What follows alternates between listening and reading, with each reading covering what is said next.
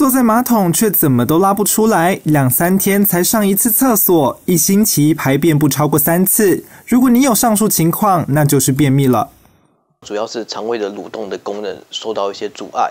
第二个就是很不喜欢喝水，它的肠道的水分是比较干、比较缺乏的。那第二个就是我们其实常看到的是老人家，老人家他的肠道已经比较有干涩的一个问题，所以这也会导致一个老人虚虚性的便秘。便秘治疗常使用软便剂，有吃就会拉，没吃就拉不出。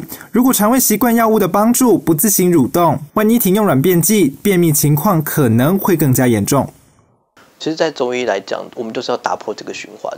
我们希望说，可以让这个蠕动的状况可以更佳。那第二个就是让它自己有自己产生神经性的蠕动。其实便秘在中医来看的话，是希望说不要透过药物来做调节，它自己就可以上。要改善便秘的情况，周医师建议：第一，每天早上起床先喝五百 CC 的温热水，唤醒肠胃蠕动及反射的能力；第二，不管是否有便意，尽可能培养固定时间上厕所的习惯。第三，千万不要有便意时还不上厕所。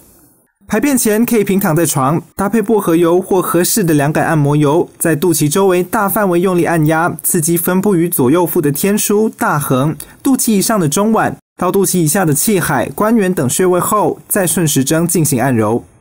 升结肠、横结肠、降结肠、直肠的一个顺顺序，这样其实可以透过我们这样子的一个动作，让肠道蠕动更加顺畅。饮食方面，因为水果含糖量高，身体为了代谢糖分，反而会从肠道带走水分，无法让肠道补充足够水分。